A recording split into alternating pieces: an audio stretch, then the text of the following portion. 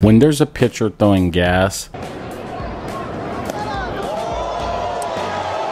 there's a different approach you have to have in order to be successful against them. So today we are going to talk about it because you will face pitchers who throw very, very hard and you need a plan that will give you the best results. So with that being said, let's jump into the behind the scenes training that I did with my students. But before we do that, if you find any value in this video, please hit the like button. It helps me reach more people and allows me to help younger players who want to get better. And if you're new here, consider subscribing because we have more content like this coming, along with a lot of other cool stuff that I believe you will really enjoy. So definitely hit that subscribe button, which is right here, and let's get into it. So welcome to the training, the hitting approach training. And today what we're gonna be talking about is hitting against fast pitchers.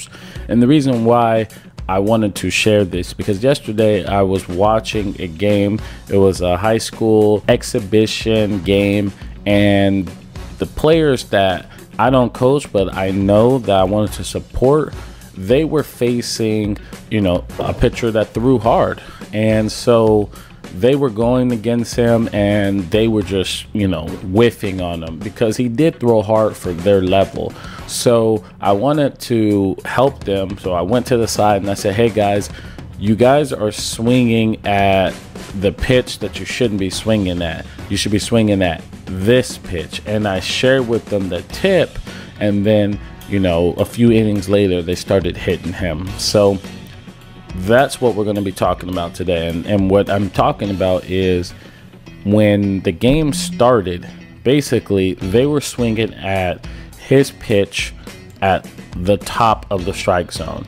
And I know you guys right now are thinking to yourself, well, Jermaine, you always say look for the pitch up. And you are absolutely right. But when you're facing pitching that is very fast for your level, you need to zone him down. The reason why is because at the top of the zone, they're putting more spin on the ball. Their fastball has more spin, and that's why you'll get this blur kind of effect when you're hitting, where you're not seeing the ball well, um, or you'll see, you know, a little rise. It's almost like the ball rises on you. And I know some of you guys are like, well, that's impossible. But when you're hitting and you're seeing some very, very fast pitching, you will literally see sometimes as like the ball rise because they're putting so much spin on the ball. And hey i don't know much about physics or anything but i do know being in the batter's box that's what i see that's what other players i see when guys throw hard. And this is why players at the mlb level are starting to throw more at the top of the zone. They know that they're putting more spin on the ball and it's harder to hit. Um, so that's why they're living up here and they're making a good living. You got guys like Gerrit Cole, Trevor Bauer, and the list goes on. They're throwing the ball at the top of the strike zone, especially the fastball. Um, all speed pitches, I think there's they're still staying down here, but when it comes to the fastball, they're pounding it at the top of the zone. So what we want to do is zone them down. We don't want their fastball at the top of the zone. We want their fastball at the bottom of the zone. This way, it gives you a little angle that you can see the ball better, and that will allow you to hit it because you get more of an angle. At the top of the zone, it's going to come in straight and it's going to not give you that angle that you need to put to get on the plane of the ball. Okay, so we want to zone in on a pitch down in the zone.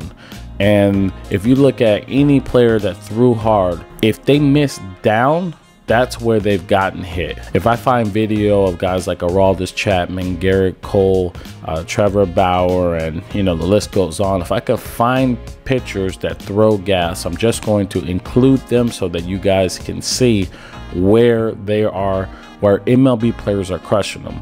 And you're probably saying to yourself, well, they're MLB players, but this the same thing goes for you. You'll be able to crush them. And so going back to my story with the high school players, they were struggling because the kid was throwing his fastball up in the zone and he was throwing his curveball and you know it was good for his age but then as I talked to him, I said, hey guys, zone this guy down, look for a fastball down.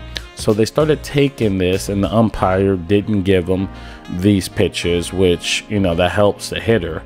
And then he started zoning the ball down, and then they started hitting them. They started hitting line drives, they started getting base hits, finding some holes, and eventually they got him out of the game. So this is just, you know, something I wanted to share because it was it was something that happened last night and I think it would help you as a player. So if you're facing fast pitching, which, you know, you're going to face it sooner or later as you keep playing this game and you need to be able to be successful, you have to also be able to adjust your hitting strategy to get different results. So you can't have the same approach with the same pitchers all the time. Sometimes you're just going to have to change your approach. Majority of the time, you can get away with thinking fastball up, especially if it's normal speed.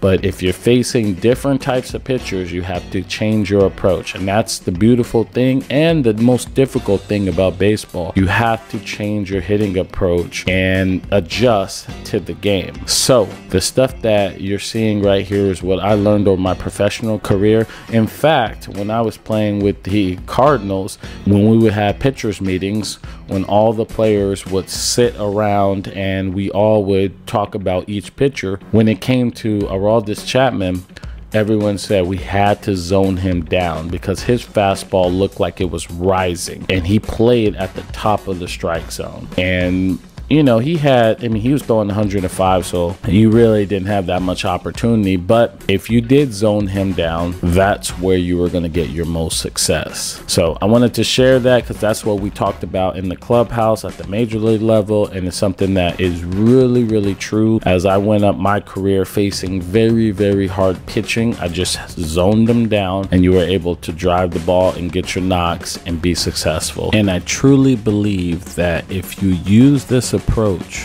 versus a pitcher that throws really, really hard, you're going to be much more successful.